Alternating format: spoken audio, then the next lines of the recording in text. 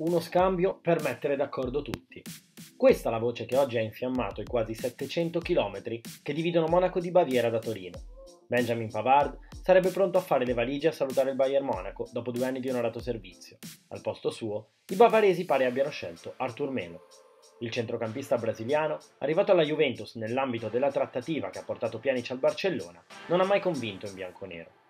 Per lui, anche quest'anno tante panchine e quasi mai la fiducia necessaria per imporsi in un ruolo complesso come quello del regista centrale. E allora uno scambio, dicevamo, con Pavard proposto dal Bayern Monaco ad una Juventus patiscente e Arthur pronto a prendere il posto dei partenti Tolisso e Roca in Baviera. Sarebbe contento Allegri, che aggiungerebbe l'ennesimo calciatore d'utile alla sua scuderia, e sarebbe contento Nagelsmann, almeno secondo il quotidiano tedesco che oggi ha lanciato l'ennesima bomba.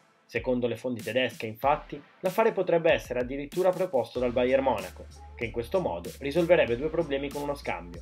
Le prossime settimane saranno dunque decisive per verificare se, effettivamente, questo scambio potrà mettere d'accordo tutti.